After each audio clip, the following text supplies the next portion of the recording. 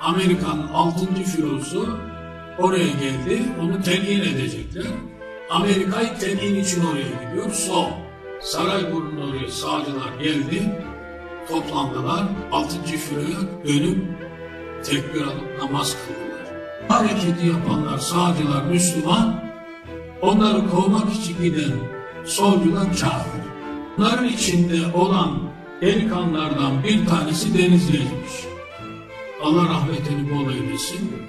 Amerika'ya karşı çıktığı için o adamlara onları telin ettiği için idam sehpasında sallandırıldı.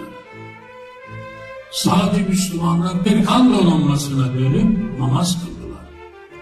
Bunlar Müslüman, onlar kafir. Ben reddediyorum, kabul etmiyorum.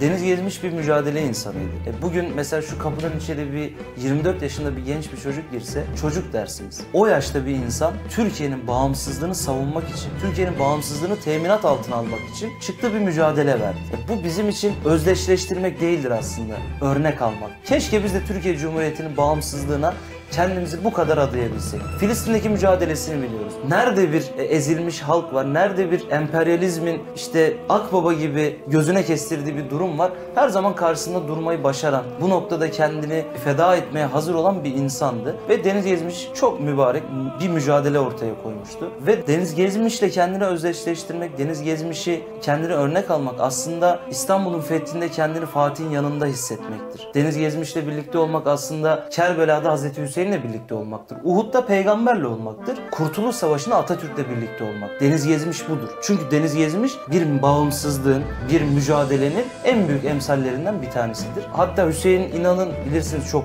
anlatılan bir hikayedir ve gerçekten gönüllere dokunan bir hikaye. İdama götürülüyor. Diyor ki ya dede korkmuyor musun? Diyor ki biz korkuyu Kerbela'da bıraktık. Böyle insanlar bizim için gerçekten örnektir. O yüzden onun bağımsızlık anlayışı, onun kendini Türkiye'ye adanmışlık anlayışına biz de bir örnek, timsal olarak önümüzde tutup onu örnek almaya çalışıyoruz.